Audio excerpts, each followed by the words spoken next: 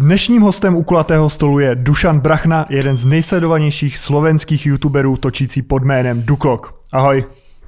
Názdar, čaute. Som rád, že si povedal dobre Duklo, to sa nestáva čau, často. Čau, Čaute. Na to jsme si dali pozor. Hned na začátku Hele. musíme poděkovat Sony PlayStationu, se kterými máme spolupráci a který nám pomohli domluvit tenhle ten rozhovor. A taky říct, proč je to online, protože ty, kdyby si sem jel do České republiky, tak i kdyby si jel na ten jeden rozhovor, tak by si musel podstoupit dva testy, že jo, na COVID. Áno, áno, aby som musel urobiť si vlastne u mňa, aby som teda vlastne potvrdil, že ku vám nenesiem žiadnu chorobu a potom by som musel cestou späť si u vás urobiť, že aby to bolo košer. No a to je taký trošku nezmysel na jeden deň. No tak to jsme rádi, že si kvůli nám nemusel, protože my se ti no. už takhle na začátku musíme omluvit za jednu věc a to, že jsme ti sebrali kolegu z kanceláře. Áno, áno, akože ja som viac menej rád, lebo on tu mal iba bordel. A ešte si tu polku veci nechal. Čiže kľudne ho zoberte naspäť a nech si to zase zobere. Ja by som bol iba rád. Je pravda, že uh, Peťo, o kterém se tady teď jako bavíme, PPP Peter, uh, taky youtuber, Aha. tak uh, uh, úplně není často u nás v kanceláři. On vlastně byl teď docela dlouho zavřený na Slovensku kvůli lockdownu, protože nejenom, že tam natáčel, ale i se bál jet zpátky. A je pravda, mm. že to neměl úplně výhodný, protože platil nájem jak za byt v Praze, tak za kancelář. Mm-hmm. No áno, a on ani tunak nebol nejak extra často. On tu mal proste iba bordel a chápeš, natáčal tu raz za úhorský rok a potom proste odišiel. A ja, že super, tak mám tu teraz jeho bordel a nemôžem s tým nič robiť. a jak ty to máš z kanceláří nebo přímo ze studiem? Ty si asi dlouho pracoval z domova, tak jak je to pro tebe důležitý mít takhle vlastně nějaký vlastní prostor a nedělat přímo z domova?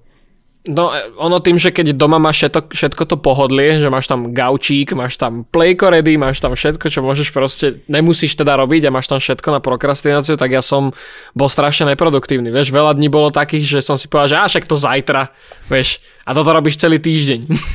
Podľa mňa kanceláriu mať pri nejakom freelanci je úplne super, pretože keď už som tu, tak aspoň chcem niečo urobiť, vieš.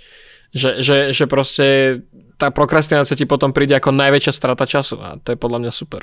A když jsem viděl tour vlastně u standy tvý kanceláře, tak eh, co ty tam všechno máš? Není to tak, že si člověk zařizuje pak tu kancelář tak, aby to bylo jako doma, že to má pohodlí a eh, co ti tam vlastně ne, chybí jako oproti tomu domovu? A, tak nemám tu sprchu. tak zrovna v té se asi úplně neprokrastinuje. A třeba gauč nebo lednička? Toto, má, mám tu gauč, chcem sem kúpiť chladničku, lebo cez leto sa tu nedá udržať chladné drinky, to je proste nemožné. Ale ináč tu mám asi všetko, akože také klasické, hej, gaučovka tu je, konferenčný stôl tu je, keď s niekým treba kecať, máme tu kuchynku na chodbe, akože mne tu nejak nič nechýba. Keby som tu mal byť v lockdowne, asi to prežijem. Ten hlavní důvod teda, proč si šel do studia, tak je ta produktivita, že doma si nebyl tak Určitě, určitě. My jsme, mm-hmm. my mhm. jsme to měli úplně stejně právě. Taky domova přesně spousta věcí tě tam rozptiluje, neuděláš tolik práce a je dobrý mít to studio přesně, jak si říkal, když jsi freelancer, že můžeš jako oddělit tu práci a osobní život. Mhm, určitě ano. Kde vy jste se s Petrem poznali? Vlastně, když jste, on měl původně uh, studio s tebou, teď jako asi v rámci toho, když, uh, když byl zavřený na Slovensku tak a nemohl zpátky sem do Česka, tak uh, jste se asi výdali, chodil k tobě. Tak kde vy jste se poznali úplně poprvé?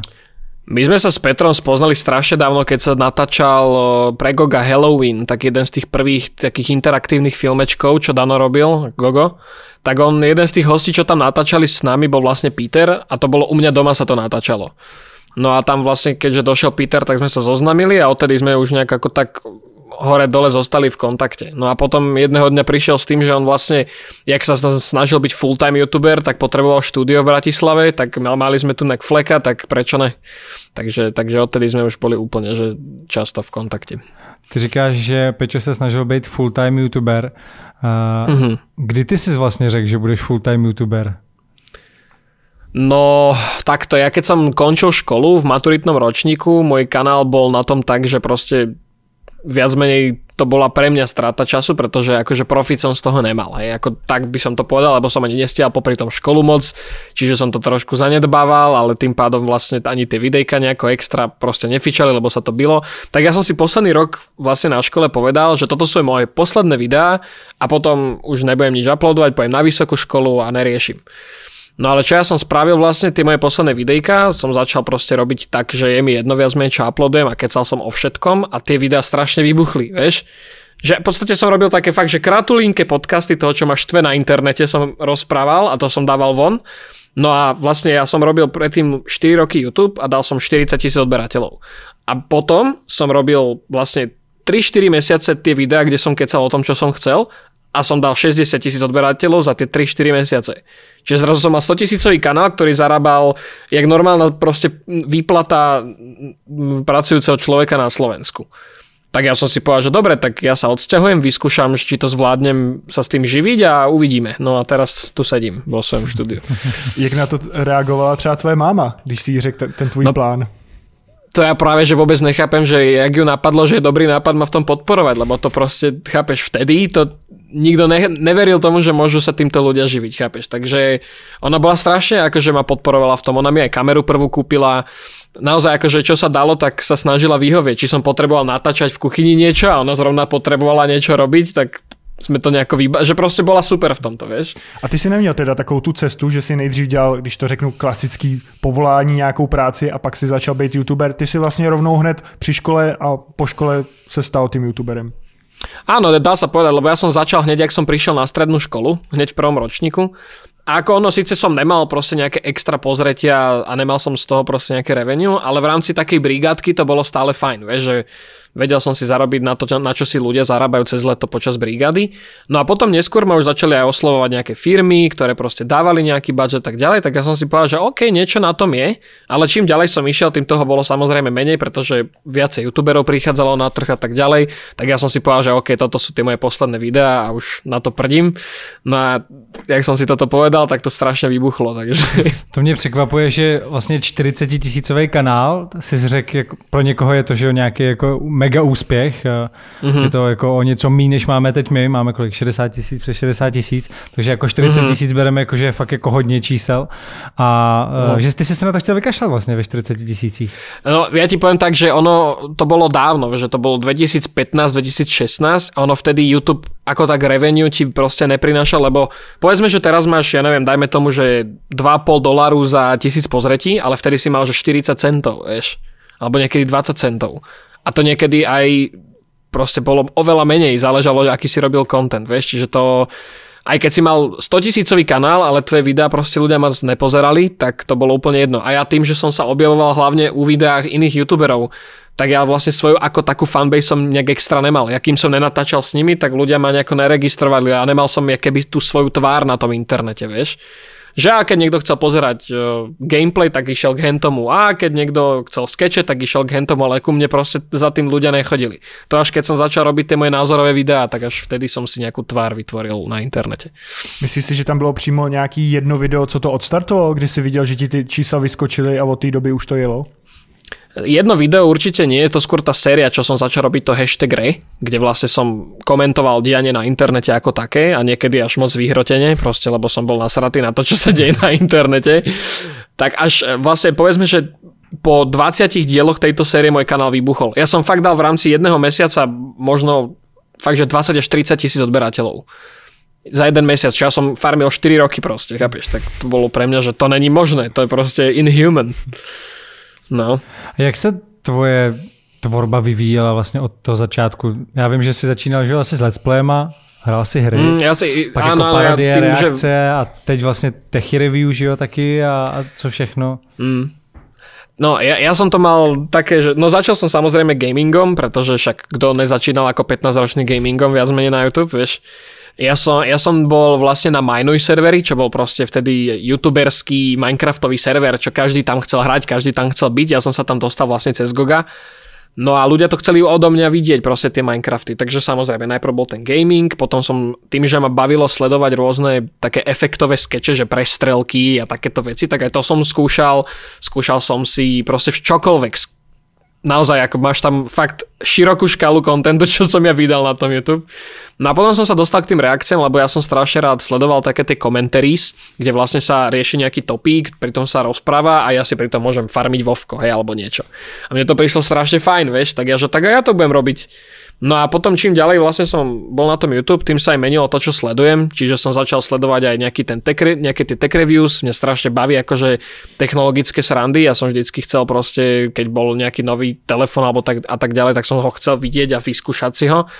Tak ja, že prečo z toho nerobiť content? Si kúpim telefón, robím o tom video a will see. No a teraz mám všetky iPhony tu, keby ste nejaký chceli, môžem vám nejaký drop. takhle, eh, když děláš ty reakce, vidíš ten vývoj i v tom třeba, že jsi umírněnější, že předtím si byl třeba... Určitě. Hmm. Určitě. Já jsem... Zr... Lebo, lebo akože, no hovor, poču, prepač, prepač. Ne, řek, řekni, já pak k tomu něco dodám. No lebo, no jasne, tak lebo ja som začal robiť také tie impulzívne reakcie, kde som bol fakt akože vulgárny a tak ďalej, z toho, že som bol fakt nasratý na to, ako ten internet funguje, vieš. Že proste ľudia tam vtedy kúkali fakt, že kraviny. A ja, že ak je to možné a proste prečo a tak ďalej. Ja som proste bol nervy na to. No a teraz, jak už som si na to tak pozerám z toho, dá sa povedať, z tej staršej hlavy a tak ďalej, tak to aj chápem. Akože zároveň ma to tiež stále trochu sere, ale chápem to a hlavne už som sa tak vyrageoval, že ja už fakt ne, neviem sa skoro nad ničím nasrať okrem gamingu. Tam sa viem tak vytočiť, ale inak ma nič nenaštve až tak strašne. Já jsem viděl tvoji reakci, to bylo myslím si, že z února letošního roku, kdy se řešila ta kauza Mobile Fox s Kovim a takhle. Mm-hmm. Tam mi přišlo, že jsi byl třeba docela jako takový naštvaný z toho. Mňa vytočilo to, ako, ako so mnou, vla... lebo ja som najprv písal Kovimu, vieš že čo sa tam dialo. A on mi proste odpovedal tak strašne nejasne a všetko to... Mne to jeho video prišlo, ako keby ho robil narýchlo. A proste to mi prišlo také dosť bezohľadné, lebo jasne však to není akože to, čo urobil Mobilefox minulý rok je fakt, že hrozné, hej, v rámci customer servisu a toho, čo urobili. Ale na druhú stranu, ja sa s tým typkom poznám osobne, kto, ktorý urobil Mobilefox. A ja proste viem, že on to chcel urobiť dobre, ale je to mladý chala, nezvládol to. A aj tú stránku by bolo dobre ukázať, keď ľuďom krmi, že to takto není, vieš, že proste vždycky tá minca má dve strany, vždy. Ale Kovy sa zameral iba na tú negatívnu v tom jeho videu. Iba na ňu. A to je podľa mňa hrozné, keď sa robí vlastne recenzia customer servisu ako takého. No a podľa mňa tento rok ten Mobilefox to zvládol fakt dobre, že si to priznali, že proste to opravili a proste, že chápeš. No a mo- možno, možno by to bolo dobre, keby, keby vlastne Kovy na to myslel minulý rok. Pro, možno preto som bol taký naštvaný, vieš, že to bolo úplne proti tomu, jak som to ja videl, úplne mi proti, protipísal tak ako ja som jemu písal, dá sa povedať, a proste ma to vytočilo a ja, že no dobre, tak si urobíme jednu old school reakciu z Amoku, let's do it. No mě právě zajímá, jak to jako dopadlo, protože viděl jsem, že spolupráci s Mobile Foxem pořád máš, teď jsem viděl na Instagramu, mm-hmm. že tam byla nějaká fotka. Ty reakce mi opět teda přišly špatný, že spousta lidí si tam stěžovalo v komentářích, tak je, mm-hmm. jak ty to vidíš, jako jestli to teda teď už zvládli a druhá strana, jak jste to dovyřešili s Kovim? No s Kovým sa to nevyriešilo viac menej nejak, my už sme potom neboli v kontakte, akože tam nie sú nejaké hard feelings proste, obidvaja sme urobili v podstate reakciu z, skoro z impulzu, hej. Ale uh, ja si myslím, že Mobilefox sa k tomu postavil asi najlepšie, ak mohol, že naozaj si to priznali. Keď si pozriete napríklad Petrové video, hej, on, on robil teraz vlastne celú tú onú kampaň pre nich, tak oni sa k tomu postavili tak, že pri, priznali, že to celé posrali minulý rok a majú miesto 15 zamestnancov, ich majú vyše 100 aby, aby zvládali všetko urobiť. Urobili nové tie kryty, urobili nové tie potlače, aby sa to nezoškrabávalo, lebo však ľudia boli nervózni z toho a tak ďalej. No a podľa mňa ľudia, čo teraz dávajú hate komenty, to sú tí ľudia, ktorí boli minulý rok nespokojní a už sa znova nepozerali na ten Mobile Fox. Že oni mali jednu zlú, jednu, jednu zlú skúsenosť a tej sa držia. Tak bohužel, no. Uh, já jsem viděl to Petrovo video, přijde mi, že teda uh, z toho videa, co jsem viděl, takže se snaží to jako zlepšit. A víš, jak se s tím tenkrát ten minulý rok poprali, jako jestli vlastně teda Vím, že jako bylo spousta reklamací a, a lidi byli nespokojení mm. s tím, že jim to třeba nepřišlo do Vánoc a tr, a tr, mm. tak jako jestli to pak nějak jako řešili zpětně, nebo jestli to berou jako, že zatím udělali tlustou čáru a jedeme od znova a tentokrát to bude lepší. No ja si pamätám, že oni ešte si vlastne urobili srandu aj z toho Kovyho ako takého, že oni potom urobili nejaký promokód, že Kovis C, vieš, alebo niečo také, čo bol vlastne akože zľavový kupón. Akože oni si z toho viac urobili joke, ale zároveň oni vedeli, že sa musia lepšie pripraviť na budúci rok. Lenže akože reálne to aj hovorí aj Neistat, hej, to hovorí aj Casey Neistat, že, že jediný, jediný spôsob, ako spraviť progres je jak Tarzan, hej, že ty sa pustíš jednej liany a chytíš sa druhej, chápeš? No a tá druhá liana bolo to najať 100 ľudí a urobiť nové kryty a pustiť tie hejty, čo boli minulý rok, chápeš? Podľa mňa takto oni zobrali. Mne takhle práve zajímá, jestli lidi vůbec mají pak důvěru pro takovouhle firmu a když se třeba podívají na Google, že jo, na nějaký jejich reviews z toho minulého roku, který určitě nebudou hezký a, a jsou to třeba i lidi, co mají tu zkušenost, jestli by si u nich teď koupili znova, nebo jestli znáš vůbec někoho, kdo si třeba to jako koupil teď a říká teď jako, tak teď je to v pohodě. No ešte uvidíme, oni, to, oni, oni majú čas do 15.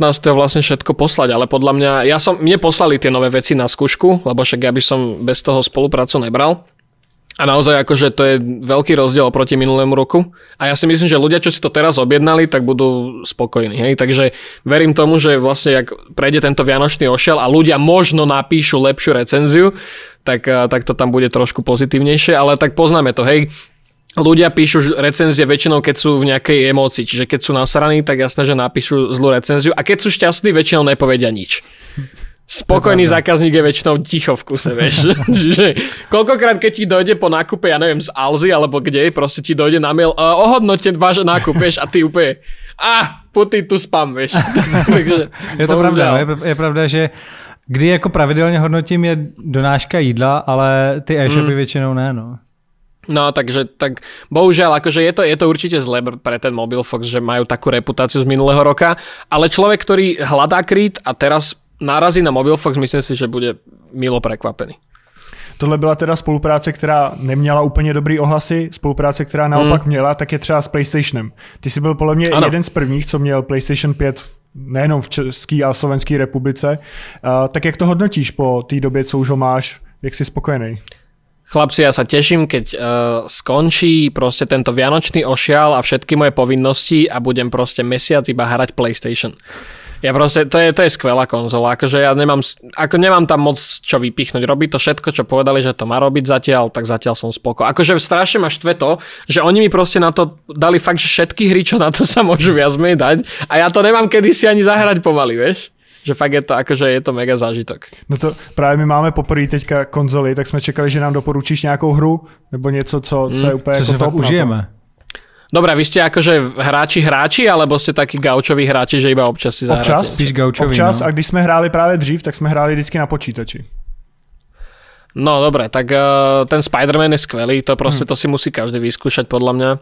A to nové Call of Duty, tým, že je hlavne prispôsobené na PlayStation 4, tiež viem si predstaviť, že môže byť super zážitok, hlavne s tým ovládačom, lebo oni to tam spravili tak, že ty keď chceš mieriť so zbraňou, tak čím ťažšia je tá zbraň, tým ťažšie sa vlastne stlačí to mierenie. Myslíš na ten nový ovládač, na, tú, na ten Áno, áno, áno. Že, či, že keď máš napríklad bazuku, tak proste strašne ťažko sa to stlačí, aby si s tým namieril a zároveň aj ten feedback tej strelby je úplne, že krásny. Ale keď si myslíte, že vám z toho gamingu narastie uh, pár vajec trošku, tak si dajte Demon Souls, pretože to je Akože budete mať nervy, že neuveriteľné, ale akože je to skvelé. Akože vizuálne to naozaj ukazuje, že čo to všetko to plejko krásne dokáže. Vím, že to mi do, doporučovalo už hodně lidí, no, tak budeme muset... Uh... My se strašně těšíme na VR, nebo respektive máme, mm-hmm. máme VR, ale ještě není možný to s PlayStation 5 spojit. Eh, čekáme na takovou přechodku, která nám má přijít.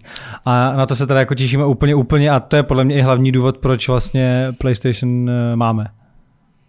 Áno, akože podľa mňa VR, ja som mal PS VR na štvorke a samozrejme bolo to limitované rozlišením a tak ďalej, ale tá interaktivita a ten zážitok z VR tam stále je, tak sa teším tiež, že čo to prinesie táto nová generácia. Lebo akože VR podľa mňa má veľký potenciál. Ja tu mám aj HTC Vive vlastne, mám tu aj ten PlayStation, ja som vyskúšal všetky VR a proste naozaj to je taký štýl gamingu, čo nemáš ako inak vyreplikovať alebo nahradiť. Čiže VR ja sa tiež mega teším, že čo nám ponúkne. Letošní kampaň PlayStationu Play has no limits eh, používá tohleto heslo. Tak eh, co to pro tebe znamená? No, podľa mňa to Play has no limits eh, ide tam hlavne o to, že väčšinou staršie hry boli buď limitované grafikou, boli buď limitované výkonom teda konzole v tom, že sa to dlho načíta, bolo to limitované kvalitou textúr a tak ďalej. No a tým, jak proste teraz tento nový systém SSDčko, však reálne Spider-Man je za, načítaný za 2 sekundy, celá hra, v 4K 60 frameoch. To bolo niečo, čo na konzolách nebolo možné, čiže tento limit máme preč. Zároveň haptic feedback na tom ovládači je zase lepší, zase to toho človeka priblíži k tej hre, takže ten limit je tiež preč, chápeš? Čiže podľa mňa ten, ten Play has no limits práve toto ukazuje. Tým, že ešte tá konzola zvládne aj to VR, tak zase nemusíš sa limitovať tým, že potrebuješ herný PC s virtuálnou realitou, ale stačí ti stále to Playko s headsetom. Ďalší limit máš preč. A tak ďalej a tak ďalej. Chápeš? Takže je to podľa mňa cool. Když jsme u toho hraní, přijde ti, že třeba na YouTube už trošku klesají ty počty shlédnutí u let's playů? Let's play ako také, také tie oldschoolové, že hráš hru od začiatku do konca, tak to je podľa mňa už dneska taký content, ktorý veľmi vystredali live streamy. Keď sa pozrieme na to, ako ľudia teraz vlastne majú radi ten live streaming, tak je to aj pochopiteľnejšie, že keď sledujete naživo toho človeka, ešte sa môžete aj zapojiť do toho, či už cez ten chat alebo donaty a tak ďalej. Je to interaktívnejšie, zábavnejšie, má to taký ten feel živého živej interakcie a to je, to je to, čo podľa mňa úplne rozbilo klasický let's play. Very, akože samozrejme niektorí let's playery tým, že proste ten ich gameplay bol, bol zaujímavý, aj to vedeli pekne spracovať, tak tí sa ešte držia ale keby dneska chcel niekto začať klasickým let's playom, tak to už podľa mňa málo ľudí si pozrie. Je to spíš na tom Twitchi? Proč ty zrovna nejsi na Twitchi? Ja som bol na Twitchi, ja som od 2013. bol vlastne aj, neviem či 2013 som začal na Twitchi streamovať a rok na to som bol už partner, tuším, alebo dva roky. Ale tým, že ja mám veľkú fanbase, vlastne celú moju fanbase mám na YouTube, tak mi prišlo logickejšie to dať na YouTube. Jednak viacej ľudí dojde pozrieť, druhák e, už sú všetci tam, že majú tam už aj účet, nemusia si žiadny nový zakladať, to je podľa mňa jeden z najväčších problémov, čo bol, keď si na dvoch platformách, ktoré nezdielajú vlastne ten Google účet, tak, to, tak, tak preto. A zároveň som chcel vyskúšať, že či je možné aj na inej platforme niečo také robiť a zároveň je to pohodlnejšie, že nemusím to striedať dve platformy. Ta tvoje tvorba je to tak, že spíš eh, poohlíží se potom, co je zrovna trendy, a nebo děláš prostě fakt jako vyloženě, co ti přijde pod ruku a je ti vlastně jedno, jestli to bude úspěšný nebo nebude úspěšný. Zase třeba... A v posledně, no, no prepač, dokončí. Jenom, jenom ta, ta, první část vlastně toho, když jsi říkal, že jsi měl 40 tisícový kanál a, a nebyla tam ta finanční motivace, že ti to nic nevy, nevydělávalo, tak to byla věc, která tě bavila, ale prostě si nechtěl dělat, protože si věděl, že kvůli tomu nebudeš třeba stíhat školu a ani ti to nic nevydělá. Tak jestli třeba teď by si udělal nějaký koncept, který by si věděl, že tě vyloženě baví, ale, ale třeba by mm. pak uh, snížily by se tvoje příjmy na, nevím, na jednu desetinu třeba jenom. Mm-hmm. No eh, takto, ja, ja keď som určite chcel vybudovať si vlastne ten môj kanál tak, aby som z neho mohol žiť, tak jasné, že som sa orientoval trošku na tie trendy, však pre, to nápadne každého, vieš. Ale čím viac som to robil, tým viac ma nebavilo, jak to robím a som si povedal, že tak ja si budem točiť na čo mám ja chuť a je mi to viac menej jedno. A možno to aj tomu trošku pridalo, predsa že, že tí youtuberi z veľkej časti fungujú na tej persone a keď proste robí človek videá, ktoré jeho naozaj bavia, tak tá persona najviac je vidno na tých videách. Podľa mňa to je jedna z tých vecí, ktorá mne strašne pomohla, že ľudia ani tak už nechodia za videami, čo ja, čo ja robím, ale veľa, veľakrát proste prídu za mnou ako takým. Preto aj na tie live streamy začalo chodiť strašne veľa ľudí, lebo proste my sme teraz mal, mali v priemere na streamoch od 2000 po 6000 ľudí, chápeš, a to ja som v živote nemal. A oni väčši, a pritom hrám aj niekedy staré hry, ktoré už dneska nikto nerieši, ale chodia proste za mnou a za tou komunitou, čo je tam vybudovaná, že ten content akože je stále fajn, že, že je to nejaký fan, ale neorientujem to na trendy jednoducho, lebo na čo? a hlavne teraz, jak idem vlastne vám to tu už môžem povedať, ja som to tak držal trošku v tajnosti, že som si kúpil byt, akurát včera som ho prevzal a to mi proste prinesie ďalšiu slobodu, že sa na tie peniaze nemusím už orientovať skoro vôbec, kape, že proste ja si tam utiahnem nejaké energie a môžem sa sústrediť na to, čo ja chcem a je mi to dosť jedno proste. Tak to je super. Co, co třeba mm. nějaký auto, to je mezi youtuberama velká móda, koupit si sportovní drahý auto, to tě asi neláká, předpokládám. Akože ja strašne láka si kúpiť Teslu, len preto, že to je zase tech, tech vieš. Jasne.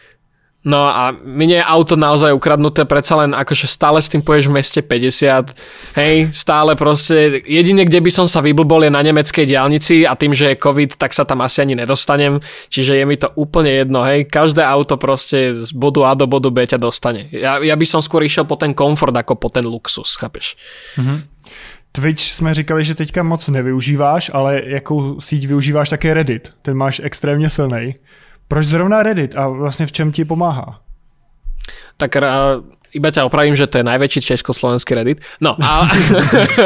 ale a kde je druhý? Kde je druhý po tobě? Fú, tak to ja neviem, možno Agrailus, ale hmm. nejsem si istý. Alebo možno nejaká, nejaká že CZSK celková komunita, ja. nejsem si istý. No ale ja Reddit preto, lebo mne strašne vlastne e, bavil koncept Redditu ako takého v tom, že ty si tam proste nájdeš fórum, ktoré teba konkrétne zaujíma. Že, že naozaj ty keď chceš nasávať informácie, v mojom prípade o teku, dáš si Reddit tech, vieš, a, a máš tam informácie iba o tom a ne, nekrmia ťa ničím iným zbytočným. A mne to prišlo strašne fajn, ja som si tam kúkal aj memes, kúkal som si tam aj, e, keď som si prerábal štúdio, nejaké tips and tricks a takéto veci. A videl som, že aj vlastne PewDiePie si založil svoje, svoj Reddit a veľa youtuberov mali, mali svoje Reddity, kde so svojou komunitou nejako komunikovali a prišlo mi to mega fresh a nikto to tu nerobil. A ja že aha, tak to je halus, tak poďme vyskúšať. No a urobil som nejakých 3, 5, 10 dielov a vybuchlo to neuveriteľne, že proste ľudia sa normálne išli viac menej zblázniť z toho. Ja som sa išiel zblázniť s nimi a keď sa teraz pozrieme, máme tam vyše 150 tisíc ľudí zrazu, vieš? Že to je ako, fu. Jako zrovna třeba tady ta sociální síť jde úplně mimo mě a je pravda, že do dnešního dne jsem vlastně vůbec eh, nevěděl, jako co na ní je. Registroval jsem ji a myslel jsem si, že to je třeba něco jako Pinterest nebo něco takového jako úplně, eh, co jako nevyužívá zrovna třeba, nebo já, já to nevyužívám, ne, nechtěl jsem říct moje mm-hmm. generace, ale to blbost, spíš prostě jenom já. tak možná i jako řekni mi, o co vlastně na tom Redditu jde. Hovorím, ako ono je to obrovské fórum, kde naozaj ty si nájdeš proste topik, ktorý ľudia medzi sebou riešia. Hej, povedzme, že dáš si topik PlayStation Games a ľudia tam zdieľajú či už svoje skúsenosti alebo nejaké bugy, čo zažili, lebo ty máš napríklad, že povedzme, že máš Reddit PlayStation a ten, ten, tá stránka môže mať nejaké fléry, že tunak sa riešia bugy, tunak sa riešia pekné screenshoty, čo sa podarili, tunak sa rieši toto a toto. Čiže ty si reálne o každej téme môžeš nájsť subtému, ktorá konkrétne teba zaujíma a nič iné sa tam nemusí riešiť. Hej, záleží samozrejme, ako si moderujú tie Reddity tí ľudia.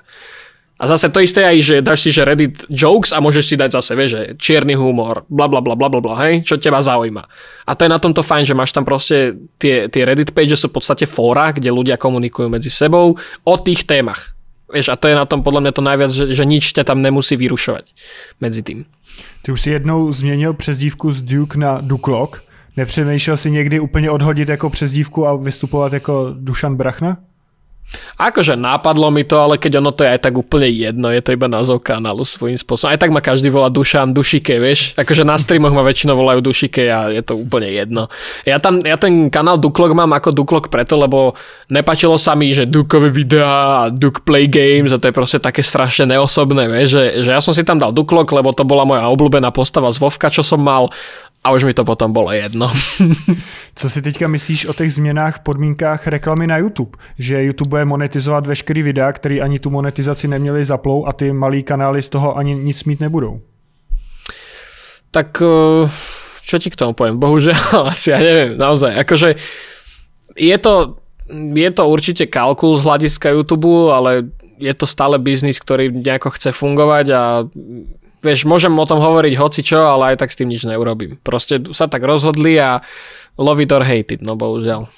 A máš ty sám nějaký videa, který automaticky dáváš uh, uh, nemonetizovaný?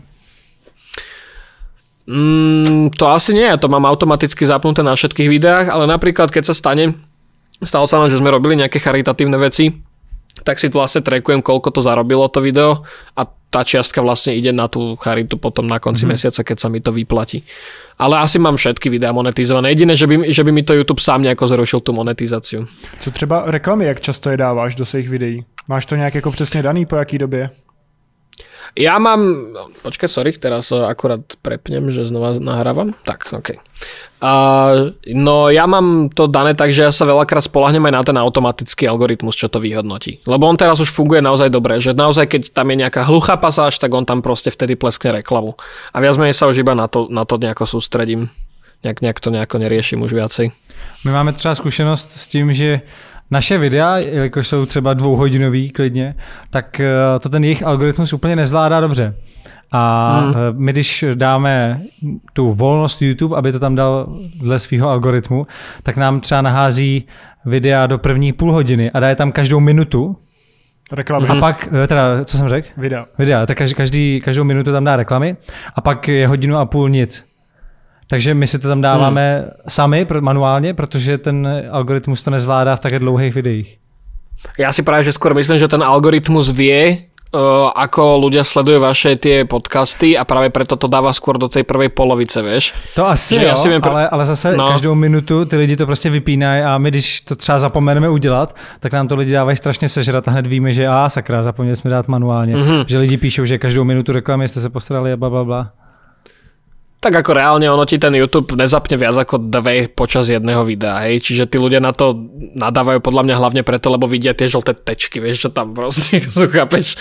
Čiže ako reálne ono to tomu divákovi nejak nezhorší zážitok, pokiaľ nepoužíva adblock napríklad. Som ani nevedel, že ono... ti nepustí dve. Ako víc než dvě takhle. No, no mne, mne sa nikdy nestalo. No ak, ak je to dlhé video, samozrejme nejaký takýto podcast, hej, tak určite tam pustí 3-4, ale proste ono, ten YouTube tie reklamy púšťa na základe watch session. Že ty by si mal za nejakú tú watch session vidieť nejaký počet reklam podľa YouTube, čo ti priradí. No ty keď vlastne máš pri jednom videu splnené 4 watch session reklamy, tak v ďalšom videu nemusíš mať žiadnu. Hej? Mm-hmm. A vtedy to napríklad najviac zažívajú užívateľe adblocku, že povedzme, že oni celý deň kúkajú na kompe s adblockom videa a zrazu dojdu na mobil, kde adblock není a celý čas majú iba reklamy. Pretože vynechali tu watch session tých reklam, chápeš? To je dobrý. Takže, takže, to majú dobře no. vymyšlený. Ty... No, je takže je to milion IQ gameplay, akože to sa nemusí. Ty jsi součástí partnerské sítě Vyradu, tak mm-hmm. kromě toho, že máš vlastně studio v jejich prostorách, tak co ti to ještě přináší? A ještě v dnešní době doporučil by si to nějakým začínajícím youtuberům? Protože dřív to byla, nechci říct povinnost, ale určitě tam byly větší výhody, že aby člověk se stal partnerem, tak musel být součástí té sítě. Teď už to jako nutný není. Mm, ako takto, ono, ono je veľmi ťažké komunikovať priamo s YouTubeom, vieš, že, že tam je proste toľko tvorcov, že to je skoro nemožné, že oni ten customer, teda ten uh, YouTube support je je veľmi akože zvláštne, že buď ti odpíšu hneď, alebo niekedy, že nikdy. A preto je práve dobré mať práve takúto, takýto partner network, lebo oni majú priamy kontakt vlastne na ľudí uh, z Európskej centrály. A tým, že vlastne mám aj osobnejší vlastne vzťah s ľuďmi z Výdadu, tak e, ja som s nimi chodil na rôzne prednášky o YouTube. Ja som vedel, ja som na, na mne napríklad bol testovaný žltý dolár ako na prvom v Československu. Hej. Mne, mne ako prvému spustili uh, speňažené, speňažené live streamy na YouTube, mne ako prvému dali žltý dolár na YouTube, ja som mal, na mne proste testovali všetko. No a, no a ono je práve dobré mať toto výdadu pri sebe, lebo oni sledujú, čo sa mení na tom YouTube, pošlu ti aj report toho, čo sa zmenilo na tom YouTube, že nemusíš čakať na ten YouTube priamo, kedy sa nejako ti sám ozve, alebo tak, ale môžeš komunikovať s niekým, kto ti vie konkrétne pomôcť. S tým, že Takže to si za to proste nejakú provizi. Áno, určite, ako berú si nejaké percento z kanálu z, tvoj, z, tvoj, z tvojej monetizácie. Hej? Ale akože je to stále fér. A hlavne dá sa dohodnúť, že oni akože tým, že tu máme veľmi, mám s nimi proste, a každý vlastne partner má s nimi taký ten individuálny uh, kontakt, tak sa viete aj dohodnúť, hej? že není to nejako rôzne. A tým, že vlastne Tunak je to fajn, že tá filozofia toho funguje tak, že pokiaľ rastie ten partner, tak rastie aj to výdadu ako také, čiže im sa neoplatíte nejak porobiť, chápeš? Tak preto som tam zostal ja. jak jsme se bavili o té tvorbě, tak ty si v jednom mm-hmm. rozhovoru říkal, že by si strašně chtěl dělat obsah typu Ultimate Gun Game.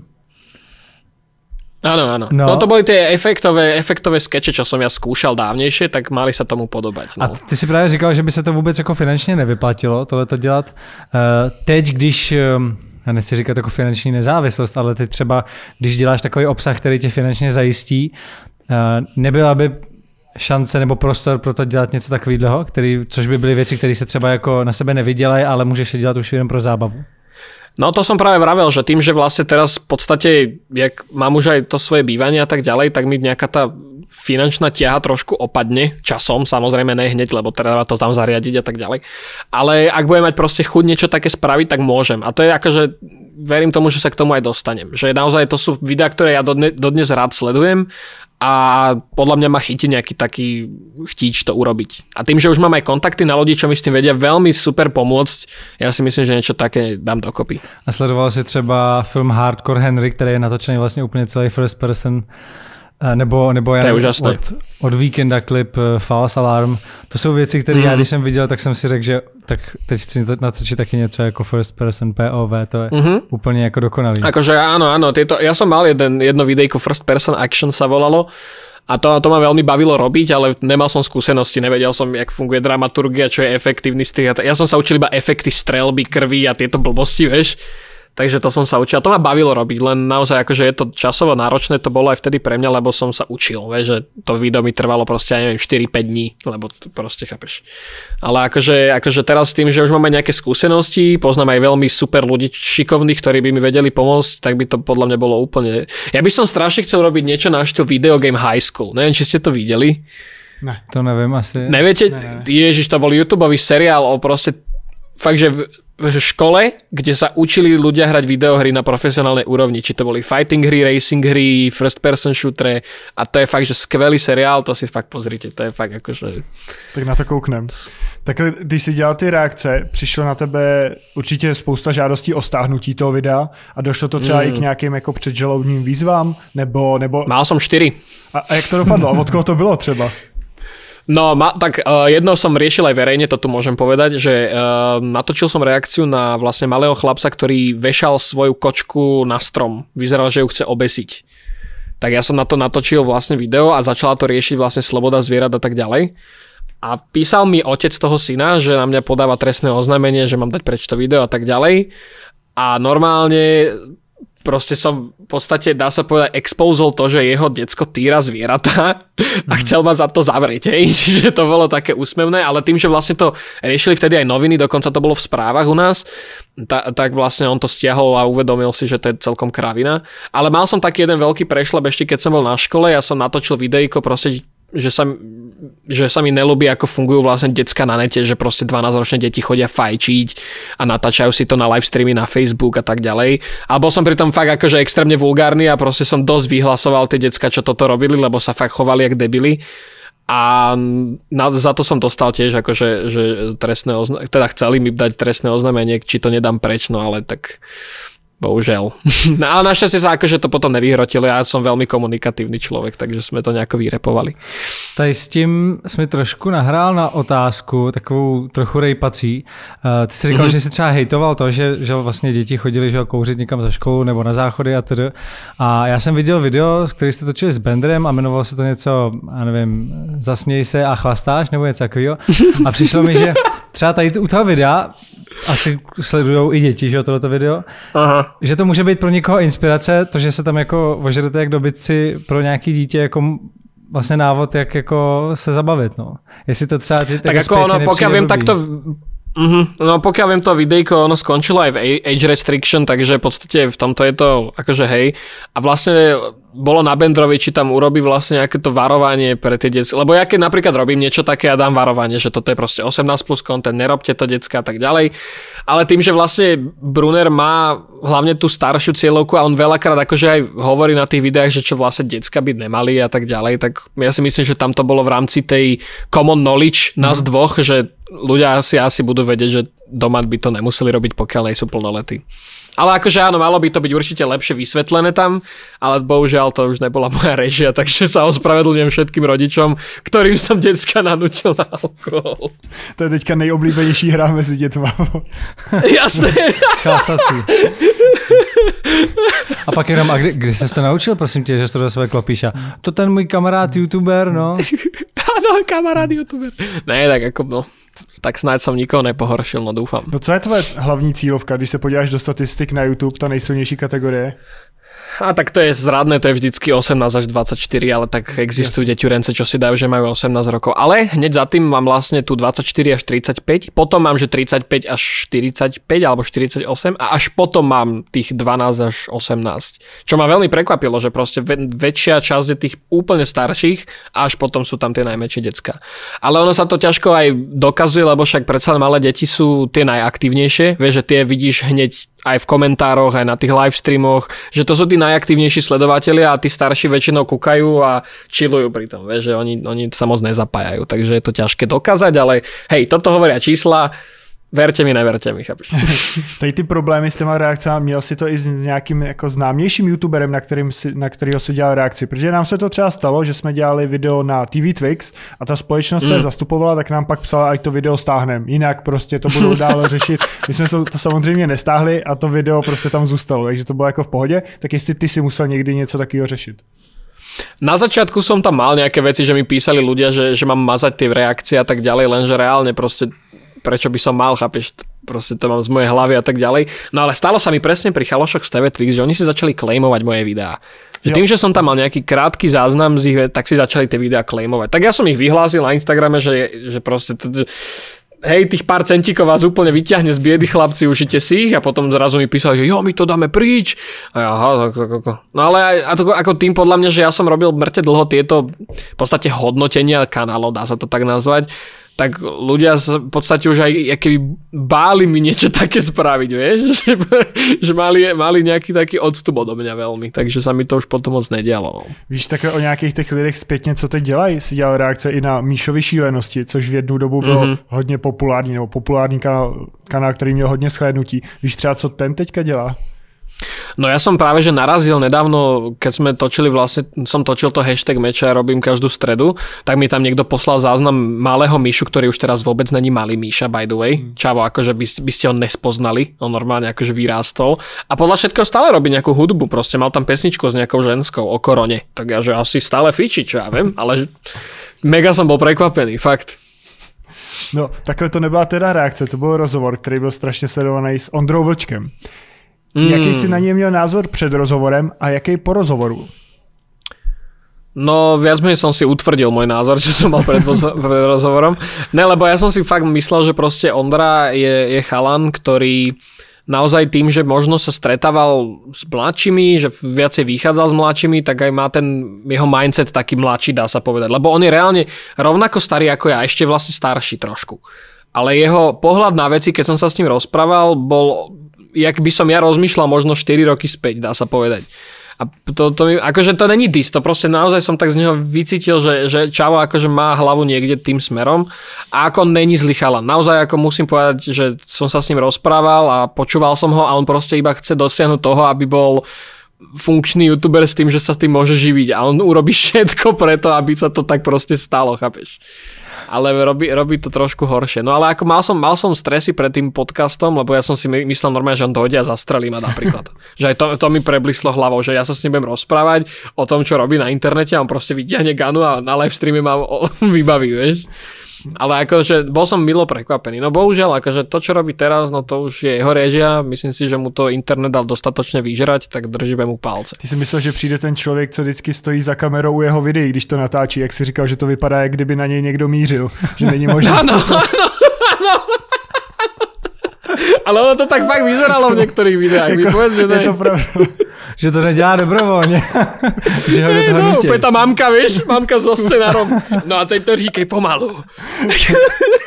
Tváří se u toho tak někdy, no. Ale tohle už kolikrát bylo, že vlastně za tím youtuberem to byl takový jako rodinný projekt. Já jsem to měl ten pocit u vlastně Míšovy šílenosti. Hmm. To byl takový rodinný projekt. A tam to aj bolo, tak no, no však to si aj videl na tých videách, no. že tí jeho rodičia proste robili kraviny len preto, aby tam boli kliknutia. Ale to u, u Ondry no. je to z jeho hlavy teda. No, je to tak.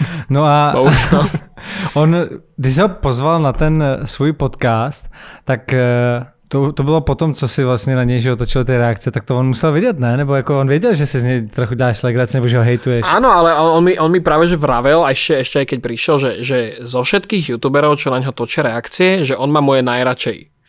Že, že proste moje si on veľmi rád pozrie, lebo sa ho pri tom veľakrát zabaví. Aha. A ja tak kúkam, že kapo, ale to není že sranda, ty by si sa fakt mal niekedy zamyslieť proste nad tým, čo si dávaš von. No a potom to akože vyzeral, že to ako tak chápe, tak uvidíme, no držíme mu palce, hovorím. A od tej doby sa, e, od tej doby sa zmenila jeho tvorba nejak? No už nerobí také, že je teplý a tieto veci, čo je fajn. Neviem, snad už nemá mladú frajerku úplne, tak hádam to nejako vy, vy, vykecal. Ale akože pokiaľ viem, tak stále točí tých jeho klaunov. Ale ja som aj povedal, že dobre, no tak keď ho baví točiť proste fejkových klaunov, tak nech si to užije, tým nikomu neobližuje, dobre, ok, není to nič protizákonné, have fun, pokiaľ ťa to baví. No tak snať, snať, snať to nejako neprepískne najbližšie. Teď jsme se bavili o těch bizárech, co naopak ti tady chybí na český a slovenský scéně, nějaký koncept na YouTube? Ja som sa o tomto akurát bavil s kamošmi, že proste nikto tu nerobí nejaký ten tzv. funny rap, čo znamená, že že, že napríklad štýl, že Lil Dicky. Viete, kto je Lil Dicky asi, nie? Či neviete? Ne, neviem, kto je Lil Dicky. Ja, Lil Dicky, no on robí také akože, no ro, robí občas aj nejaké serióznejšie veci, ale on proste robí taký ten funny rap, čo je proste sa nebere vážne. Podľa mňa všetci repery tu u nás sa berú strašne mm. vážne. Ešte aj youtuberi, z ktorých sa stali repery, sa berú strašne vážne, a keby ich osvietil Ježíš, vieš, že proste... Ah, a nikto to tu nebere proste odľahčenie. A ja si myslím, že keď spojíš humor a hudbu, ktorá je počúvateľná, tak to je úžasný entertainment. A nikdo to tu prostě nerobí. My, má, my máme v Čechách asi jednoho, který by se dal považovat za repera, který to bere jako s nadsázkou a to je Kapitán Demo, jestli si o něm slyšel. Aha, to, tak to nevím. To, to si pust, to má jako ty videoklipy na YouTube miliony shlédnutí a je to přesně taky jako v úvozovkách rap, nebo asi je to fun jako rap. fun rap, no. To je přesně ten styl, podle mě. A jako u nás se to chytlo, okay. má to velký číslo. No tak to je skvelé, no tak toto mi chýba u nás. No tu, tak to, tu sú všetci strašne, vieš, drahé veci nosia na sebe, požičavajú si auta do klipov, lebo však. Hej? A myslia si, že proste zožrali svet a pritom, chápeš, vypneš internet a môžu ísť do Teska, takže neviem. No. Mě zajímá, jak tvýmu kanálu nebo obecně i tobě vlastně pomohlo to, že se tvoje video objevilo u PewDiePie. A práve, že absolútne vôbec. tak lebo vieš, čo to znamená? Ono to, ja, ja verím tomu, že tým, že ja proste naozaj ako mám tú meme komunitu, ktorá verím tomu, že vo veľkom sleduje PewDiePie, tak Chápeš, oni to videli a sledujú zároveň moje videá, tak si povedali, jej, hurá, paráda, skvelé a už nič sa ďalej nedialo. A nových ľudí mi to akých donesie, chápeš, však tu nerozumejú zahraniční ľudia tomu, čo ja rozprávam. Je pravda, Čiže že... ono mi to reálne nijak nepomohlo. Je pravda, že nás jednou ze sdíl Casey Neistat, ještě když jsme, když jsme dělali vlastně úplně jiný obsah a taky to mm. vůbec nepomohlo. A je pravda, že asi jo, protože my jsme dělali content v češtině a ty lidi ze zahraničí, který dejme tomu se třeba mohli podívat na to naše video, tak prostě si řekli, aha, tomu nerozumím, takže nedám odběr, nebudu se dívat. No to nepomůže nijak. To, vieš, to je je keby si hluchému ponúkal e, reklamu na sluchatka, proste. Chápeš, čo z toho môže mať? Nemôže je to tak, my jsme se o tom bavili s Petrem, protože Petrovi taky nejdřív Casey zazdílel video a to taky vůbec nepomohlo. Pomohlo až když on byl v jeho videu, což je úplně něco jiného, jako že tam hmm. přímo byl, bavili se tam spolu, když takhle nějaký video zazdílí, to bylo ještě, když Casey nebyl úplně jako v tom topu, že to bylo podle mě, když začínal s těma vlogama, on to sdílel na Twitteru, takže to ještě nebyl takový hype, ale... Ako ja tieto veci vidím aj na sebe, že ja, ja keď nejaký youtuber shoutoutne nejaký produkt alebo niečo, alebo svojho kamoša, že začal natáčať, tak mne to je úplne jedno proste. Mne to, mne to proste, prečo by som ho mali spozrieť? Ale keď vidím, že spolu niečo urobia a vidím, čo ten človek dokáže, ta, tak proste vtedy ma to môže zaujímať. Čo znamená, že dajme tomu McKinnon, Peter McKinnon, asi viete, kto je, tak, tak on tam, on proste shoutoutoval svojho kamoša v kúse toho Metyho, akože I really don't care, proste ne, nezaujíma ma to, ale raz urobil videjko s tým uh, Davidom Schifferom, kde robili takéto shot, shot for shot a ukazovali vlastne, čo jeden aj druhý dokážu v rámci jedného objektívu a tam uvidí, že aha, Čavo niečo vie, tak tam už klikam. A to, to je oveľa lepšie, že aha, toto je môj kamoš, podľa mňa je super. Super, ale mňa nezaujíma tvoj kamoš, ja chcem tvoje video vidieť. Mm-hmm, rozumím, rozumím. Je to tak. No. U tebe je zajímavý, že uh, nemáš jenom jeden YouTubeový kanál, máš minimálně dva, který aktivně používáš, máš jich teda víc, nějaký jsou jako co, co nevyužíváš. No, ty staré. Mhm. A nepřemýšlel jsi si udělat i jako úplně vlastní stránku a být nezávislý na YouTube, kam by si mohl dávat nějaký videa, který přesně by byl problém na YouTube, že by si mohl dostat strike, uh, minimálně by tam mhm. byla demonetizace? Akože rozmýšľal som na tým určite rozmýšľal, ale kým ten YouTube proste nejako funguje, tak nemám na to dôvod. Ono, aj keby sa niečo také na YouTube stalo, tak tie videá tam stále uploadovať môžem, čiže to znamená, že by som si možno až potom vypromoval nejaký taký projekt, že, že odchádzam inde, lebo nemám na to teraz dôvod a fokusujem sa na to, ako teraz tá platforma funguje. Ak, ak bude nejaký takýto problém, určite to bude jeden z, jedno z riešení, čo budem chcieť riešiť, ale zatiaľ na to nemám dôvod našťastie. Mě zaujalo, ty jsi se na Twitteru vyjadřoval ke kauze Kuciak, když teďka přišlo to vyjádření vlastně soudu ke Kočnerovi. Uh, no, trošku, trošku jsem to tam bylo, bylo vidět, že ti to naštvalo prostě. Mm-hmm, mm-hmm. Nepřemýšlíš i o něčem takovýmhle vážnějším tématu natočit video na YouTube, dát to na ten svůj hlavní kanál, nebo tady jsi si prostě chtěl tak ulevit na tom Twitteru, kde to tolik lidí nevidí třeba? Mm, ja, to, ja som to skôr bral tak, že naozaj akože bol som z toho vytočený, tak som to chcel niekať dať von, ale na tých videách ja to berem tak, že ono je na svete toľko zbytočné, akože neže zbytočné, ale toľko vážnych vecí sa rieši na tom nete, že ja si myslím, že ľudia sú aj radi, že u mňa sa riešia také odľahčené veci, že to je tag a sranda, memečka a tak ďalej, ale zase keď naozaj niečo budem chcieť zo seba povedať von, ja to také video spravím, ale naozaj toto bola téma, ku ktorej čím menej sa človek vráca, možno tým bude aj pokojnejšie spávať, som to tak ja bral. Že áno, na tom Twitteri to nechám, tam si to aj tak nájde človek, ktorý to chce si nájsť, ale aby som to spal ľuďom, ktorí vyslovene u mňa hlavne kúkajú tú srandu a také tie odľahčenejšie témy, tam mi to už prišlo také moc. Ale že sa ako nehovorím, že to nikdy neurobím, len v tom momente a v tej situácii, lebo to naozaj bola taká situácia, čo sa nedieje zrovna každý útorok, že to, to akože je veľmi silná téma, tak to, to som tam až tak nechcel rozoberať.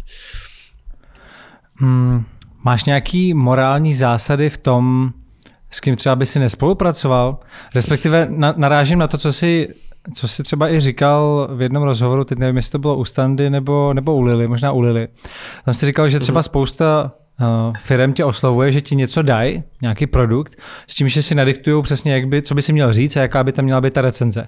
A ty dost často je odmítáš a radši si to koupíš sám, když ten produkt chceš a udáš pak autentickou recenzi. Tak jak, mm-hmm. za prvý, jak dlouho, jak často se tohle stává, vlastně to, že jako odmítáš, mm-hmm. jaký konkrétní třeba značky si odmít a pak třeba, co by si jako vyloženě nikdy ne, nepodporoval, ne? nepropagoval. Ono sa to už teraz ani tak nedie, lebo ľudia vedia, že to takto robím. Ono minulý rok, hlavne, hlavne keď som začínal tieto tech recenzie robiť, tak mi tam v kuse chodili nejaké, ja nechcem teraz tu úplne kolautovať tie firmy, lebo však možno na budúce budú ten marketingový tým lepšie a nebudú až taký stubborn, vieš ale, ale veľakrát sa stalo, že dostal som proste produkt, dali mi k tomu nejaký budget a povedali, že toto tam musí odznieť. A ja OK, ale ja by som to rád napríklad porovnal, dajme tomu nejakú značku smartfónu s iPhoneom, pretože aj tak človek, ktorý si to pôjde kúpiť, to porovná s tým iPhoneom, chápeš? A oni, že ne, ne, ne, to tam sa nesmie byť spomenuté, to nechceme riešiť vôbec. A ja tak potom, čo to je za recenziu? Tak som si ten telefon kúpil sám, na porovnal som ho s iPhoneom a to video malo 250 tisíc pozretí a ľudia boli radi, že niečo také existuje. Ono, ono, mne to príde, ta, lebo fakt, ako buďme k sebe úprimní, videjko, kde ti zaplatia a ty povieš, že produkt super, je úplne zbytočné. Hmm. Ale že úplne zbytočné. Chápeš, to je, keď človek tomu produktu neverí, tak to video tak aj vyzerá. Hej, že keď napríklad nejaký, nejaký influencer na Instagrame dostane nejaký super krémik alebo nejaké super bezdrátové sluchatka z Číny a povie o nich, že sú skvelé za 15 dolarov a ty si tie recenzie potom aj tak pozrieš niekde inde a zistíš, že super nejsú, tak na čo je taká reklama, chápeš? No a ja sa nechcem brať ako reklamný banner, ja to chcem brať tak, že fakt tým ľuďom dám nejaké užitočné informácie, že, že Teraz hlavne aj keď idú Vianoce, ľudia si tie produktové videá hľadajú a proste chcú sa na niekoho spolahnúť s recenziou. Tak ja by som bol veľmi rád jeden z tých ľudí, chápeš? A na čo bys nikdy reklamu nedelal? Hmm, no na produkt, ktorý so mnou absolútne nesúvisí, rozumieš, že no na beauty asi, asi je to u mňa spýtočné, ne, napríklad, chápeš? Príde nabídka. Neviem, čo by ste... Ne, s politickou stranou určite by som nezobral hmm. spoluprácu. A to som už mal ponuky. Ako to vám poviem, že keď boli u nás voľby, tak som dostal nejaké dve, tri ponuky o, takém, o takomto niečo a to je veľké no-no. Proste človek by mal mať v tomto, v, v tom, e, v, ne, v, ne, v takom niečom ako sú voľby, by mal mať človek proste svoju hlavu a nemal by byť nikým ovplyvňovaný. Predsa len volá sa to influencer kvôli niečomu, že vieme ovplyvniť davy ľudí, vieš. A podľa mňa mi príde úplne nefér, keď politická strana chce vyhrať na základe toho, že zaplatí influence nejakého človeka. To je podľa mňa úplne hrozné. A kdyby to byla strana, ktorú by si stejnak volil? To by už, to by možno skôr fungovalo tým štýlom, že ja by som ich oslovil, že rád by som propagoval ich myšlienku. Ale nie, že oni dojdu za mnou, že dáme ti peniaze a povedz, že sme najlepší. Chápeš? To by bola, to by bola nejaká zájomná súhra možno toho, že áno, ľubí sa mi vaša ideológia a rád by som ju zdieľal. Tam by som to videl, že to je OK.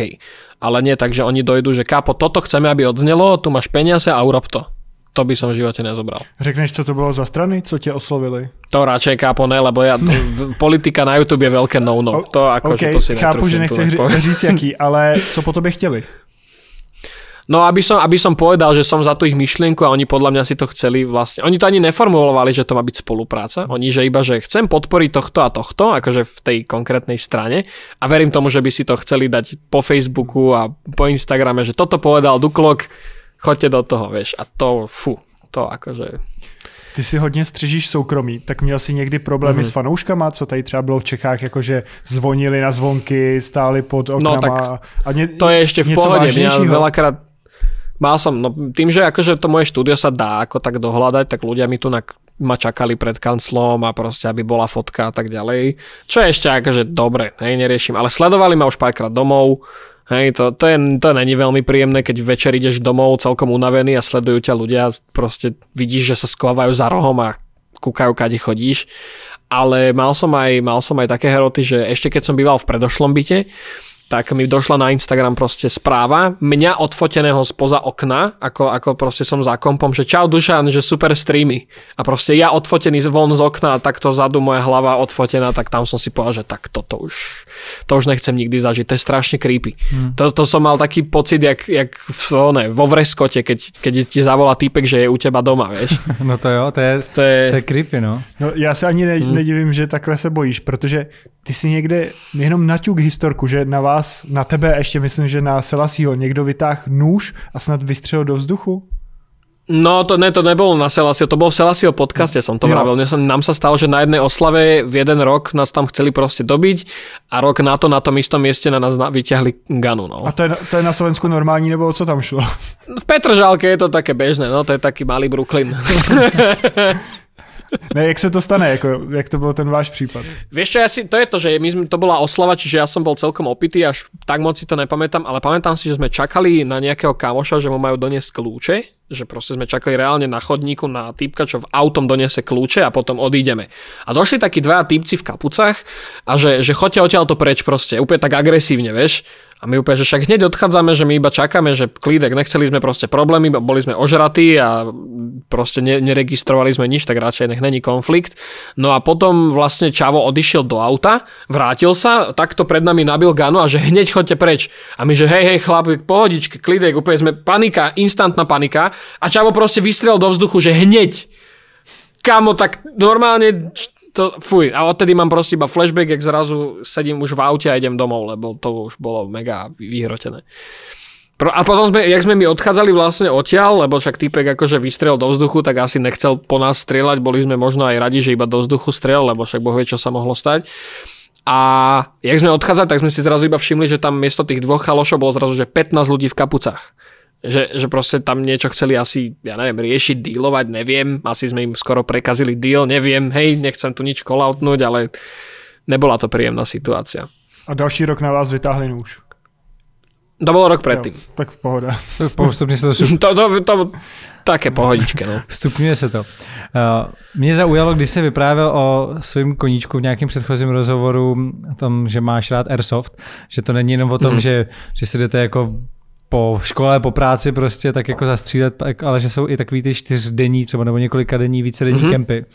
Mm-hmm. Mě by zajímalo, jak to funguje, jak to probíhá tohleto, protože je to takový jako něco i jako třeba LARP, že prostě hrajete nějaký jako role, ono to je presne ako LARP. Aha. Ono to je úplne, úplne na ten štýl, že, že ty si normálne na nejakej stránke, čo sa organizuje vlastne taký, takýto event, ty sa normálne prihlásíš do konkrétneho týmu, do, do konkrétnej proste časti, ty proste potom dojdeš na lokáciu, dostaneš normálne misiu na tie 4 dní, alebo 2, alebo záleží koľko to proste je. A normálne celé tie 2 dní alebo 4 dní, deň aj noc sa proste hrá ten Airsoft.